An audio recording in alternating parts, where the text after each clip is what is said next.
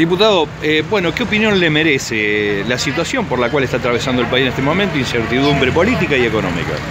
Y la que tenemos toda, una tremenda preocupación, digamos, por, por ver cómo un país tiene que girar en torno a una dinámica que nosotros la definimos como la dinámica de la grieta, que se retroalimenta este, a sí misma y que un día nos ofrece un capítulo este, de un lado y al otro día nos nos, ofrece el capítulo contrario de manos de una oposición que tampoco da el ejemplo de concentrarse en tratar los temas que verdaderamente eh, le interesan a los argentinos y que tanto necesitan los argentinos para resolver y, realmente superar esta dificilísima situación. En el medio de eso creo que hay que guardar la cordura.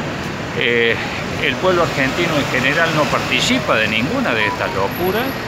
Este, y, creo que finalmente se va a encontrar el rumbo que, bueno, que, realmente nos haga eh, meternos en, todas aquellas cuestiones que realmente exige hoy imperiosamente un país que a través de la inflación, a través de un tejido productivo este, verdaderamente lastimado, que no admite ya más este, parches, como se intenta desde, el gobierno nacional, desconociéndolo incluso a esos parches por los mismos protagonistas o los mismos miembros. Ahora resulta que en, este país, este, que parece eh, el de Alicia en el País de la Maravilla, quien integra el gobierno no integra el gobierno y por lo tanto no este, paga las consecuencias o pretende, pretende desconocer lo que, lo que su propio gobierno lleva, lleva adelante en este sentido. Bueno, esta, esta irracionalidad tiene que ser superada por todos aquellos que pensamos que este, Argentina merece eh,